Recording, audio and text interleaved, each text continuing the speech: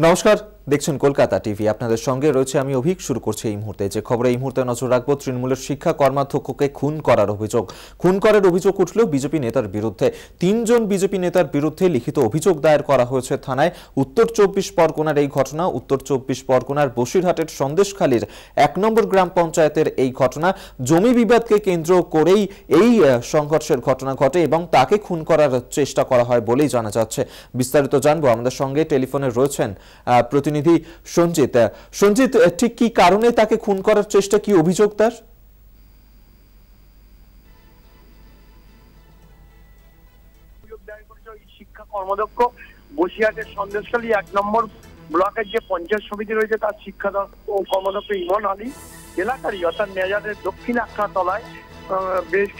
জমি দখল করে রয়েছে। একদিকে ওই বিজেপি তিন নেতা, বিরুদ্ধে জমি দখলের রয়েছে, বেশ খাস জমি তারা দখল করে রেখেছে।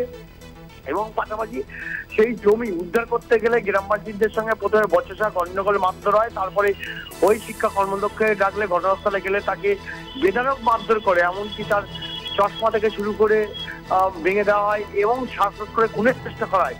এই নিয়ে এলাকায় যথেষ্ট উত্তেজনা, তৈরি হয়েছে।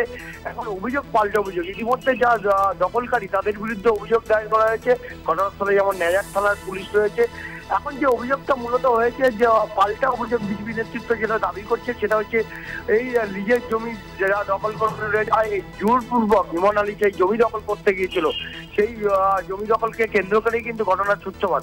এখন যেহেতু অভিযোগ, পাল্টা অভিযোগে এলাকায় যথেষ্ট উত্তপ্ত হয়ে রয়েছে, মূলত এই তিন বিজেপি নেতার বিরুদ্ধে থানায় যখন অভিযোগ করেছে এবং তাদের বিরুদ্ধে এর আগে কীভাবে জমিটা তারা নিয়েছিল, তাদের খাতাপত্র কি আছে? অর্থাৎ গ্রামবাসীরা একদিকে দাবি করেছে, তাদের কাছ দিয়ে প্রায় তিরিশ থেকে পঞ্চাশ হাজার টাকা নিয়েছে ওই ভাটার মালিক। তারা রাস্তা দেওয়ার নাম করে। সেই টাকাটা তারা ফেরত দিচ্ছে না। একদিকে গ্রামবাসীরা ক্ষোভ উগলে দিয়েছে, প্রতিবাদ করেছে, অন্যদিকে শিক্ষা কর্মদক্ষ দিয়ে প্রতিবাদ করে, তাকে বেদরক মাধ্যম সব মিলে গোটা পরিস্থিতির উপর নেয়ার থানা পুলিশ নজরে রেখেছে। একেবারে। অভিক, আহ, ধন্যবাদ তোমাকে। সঞ্জিত চক্রবর্তী আমাদের সঙ্গে টেলিফোনে ছিলেন প্রতিনিধি। অর্থাৎ জমি বিবাদকে কেন্দ্র করেই এই খুনের অভিযোগ রয়েছে ওই তৃণমূল নেতার এবং অভিযোগ পাল্টে অভিযোগ রয়েছে ঘটনাস্থলে যায় পুলিশ এবং বিজেপি নেতাদের বিরুদ্ধেও অভিযোগ দায়ের করেছেন ওই তৃণমূল নেতা।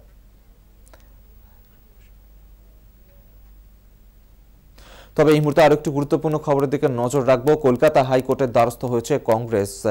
ঝালদা পুরসভাতেই প্রশাসক বসানোর সিদ্ধান্তকে চ্যালেঞ্জ চ্যালেঞ্জ জানিয়েই কলকাতা হাইকোর্টের দ্বারস্থ হয়েছে কংগ্রেস এবং বিচারপতি অমৃতা সিনহার দৃষ্টি আকর্ষণ করার চেষ্টা।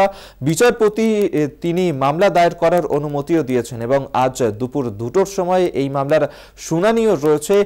যেমনটা অভিযোগ, কংগ্রেসের যে পুরসভায় প্রশাসক বসানোর যে সিদ্ধান্ত, সেই সিদ্ধান্তকে চ্যালেঞ্জ জানিয়েই কলকাতা হাইকোর্টের দ্বারস্থ হয়েছে কংগ্রেস এবং মামলা দায়ের করার অনুমতিও দিয়েছেন বিচারপতি। আজ দুপুর দুটোয় রয়েছে শুনানি।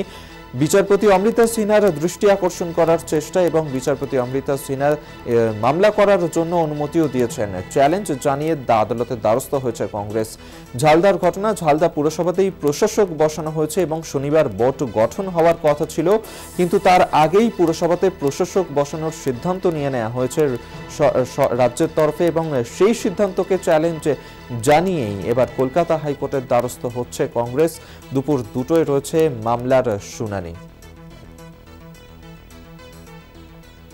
আদালতের দ্বারস্থ কংগ্রেস, ঝালদা পুরসভায় প্রশাসক বসানোর সিদ্ধান্তকে চ্যালেঞ্জ চ্যালেঞ্জ জানিয়েই কলকাতা হাইকোর্টের দ্বারস্থ হয়েছে কংগ্রেস। আজ দুপুর দুটোয় রয়েছে শুনানি। এই মুহূর্তে এই পর্যন্তই। দেখতে থাকুন কলকাতা টিভি রাত দিন, সাত দিন।